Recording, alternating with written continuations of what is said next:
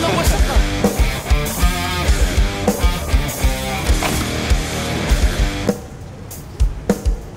Happy anniversary, babe! Dondi, I'm so sorry. But I think you deserve someone better. I'm so sorry. Akala ko ba stick to one ka na? Niloko mo lang naman ako eh. Please, eh, hindi ka naman kagandahan.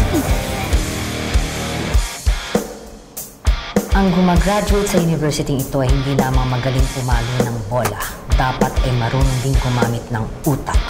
Doon ka na sa marko mo kasi taong grasa ka, di ba? Wala ka pa talagang naliligawan buong buhay mo. Wala, okay? Would you go out with me? Nick, hindi pa ba tayo nagde-date? Ganito. I just want to know, may third party ba? So, Who is Sam?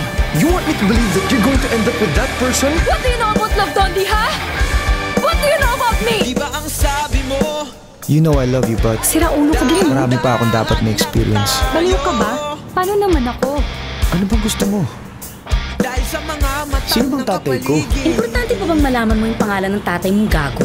Huwag mo na siyang kilalanin. Napalaki ko naman kayo ng maayos, di ba? I just really want to be me. Better weird than boring, right? Sino bang gustong maging normal?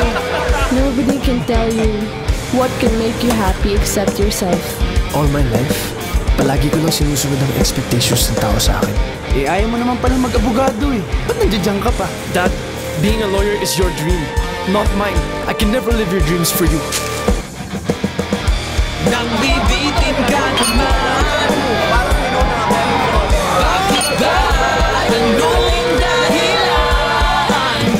Ang hilig mo sa taguan Baka